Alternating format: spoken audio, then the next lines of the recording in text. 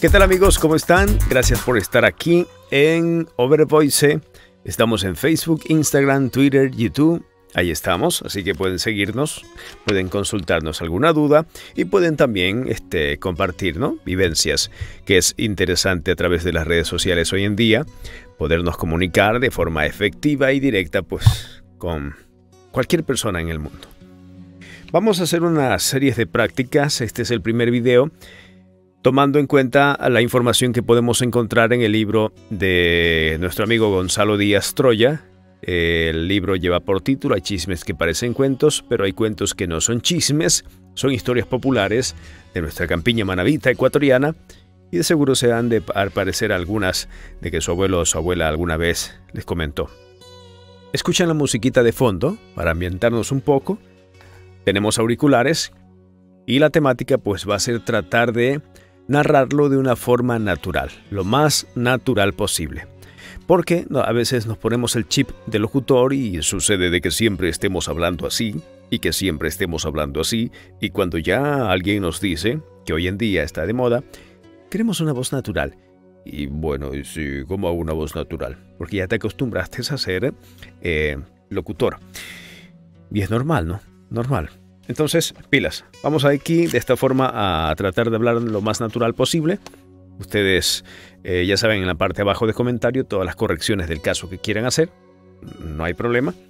Esa es la idea, ¿no? La historia que leemos ahora, la primera es el descabezado. Y bueno, vamos ahí. ¿Suena la música? ¿Va? Eso. Clemente Triviño conocido en el pueblo como un hombre pacífico, en uno de esos tantos domingos, muy de mañana, ensilló su mular y cargó como 75 libras de cacao de cada lado de la bestia. Había que llevar algo a vender. De lo contrario, ¿con qué dinero se comprarían las compritas de la semana? Una pertinaz llovizna caía por la zona. Clemente cubrió su cuerpo con un grueso poncho de goma, de esos que por allí se hacían con la leche del árbol de caucho. Montó y lentamente se alejó por el fangoso callejón, mientras era seguido por las miradas lánguidas de su esposa e hijos, que parecían predecir la desgracia que caería sobre él. El camino era difícil, largos trechos rebosantes de lodo por los que el mular se enterraba las patas hasta cubrir parte de su panza. Cerca del pueblo estaba un río, donde Clemente lavó su cuerpo y las grandes fundas de plásticos que cubrían el producto que llevaba para la venta. Había mucha algarabía. Era domingo y no era para menos. Vendió el cacao y después de llenar medianamente las alforjas con provisiones para la semana, como a las 12 de la mañana, se dirigió hacia la cantina del pueblo. Entre copas y copas fueron avanzando las horas. Perdió la noción del tiempo y ni de almorzar se acordó. La noticia de un sangriento crimen a las afueras del pueblo se propagó. Un clima de nerviosismo invadió la cantina. Más pronto, todo volvió a su estado habitual. Rayaban las seis de la tarde, Clemente apenas se podía pararse. Salió del lugar zigzagueando hasta llegar a su mular, subió en él y se encaminó a su hogar. Sabe Dios como en aquella y otras muchas ocasiones, lograba llegar hasta su casa por aquellos caminos extremadamente malogrados por el duro invierno. Cerca de su destino, los aullidos del perro avisaban que Clemente se acercaba. Su esposa salió al corredor, con el candil en la mano a recibir a su esposo. Como en otras ocasiones, su cuerpo simulaba un horripilante monstruo todo embarrado de lodo. Al parecer varias veces había visitado el suelo. Se bajó del mular. Torpemente tendió la alforja hacia las manos de su esposa. Y allí nomás. Repentinamente cayó en el entablado. No habían pasado ni diez minutos cuando un grito escalofriante se escuchó en la azotea de la casa. Era su esposa. Arrastrándose por no poder sostenerse en pie, llegó hasta ella la encontró sobreacogida en un rincón, observando de reojo bajo la tenue luz de la lámpara de querosín colgada en un clavo en la pared. una ensangrentada cabeza humana que yacía en la boca de la alforja. Se le fue de un soplo la borrachera.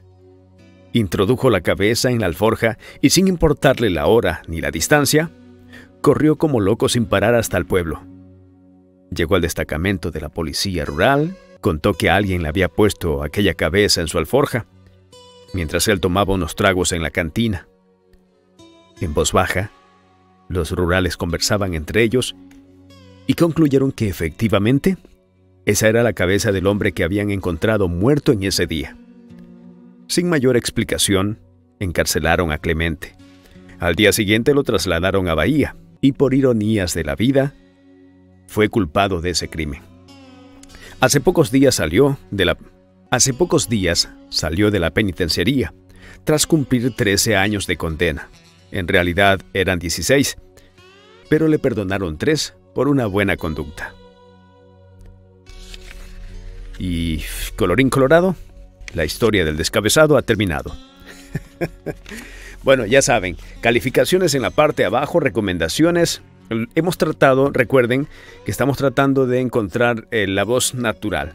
Por tal motivo, eh, nos saltamos ciertas eh, colores en la narrativa o en la versión de narrar la historia, porque más nos estamos concentrando en contar una historia que se entienda, lógicamente, pues no tanto para audio, sino para muestra para ustedes en este video, para que vean cómo se hacen las cosas aquí en estas cuatro paredes de estudio, y más aún, cuando te piden, necesitamos una voz natural. Y esta es la voz natural de un locutor, pero natural, ¿no? Ahí va. Vocalizada, con buena dicción, con aire y sin estar hablando con la nariz. Nos vemos, califiquen en la parte de abajo. Eh, Twitter, Facebook, Instagram, YouTube, ahí estamos, Overvoice. Y el libro, hay chismes que parecen cuentos y hay cuentos que no son chismes de Gonzalo Díaz Troya.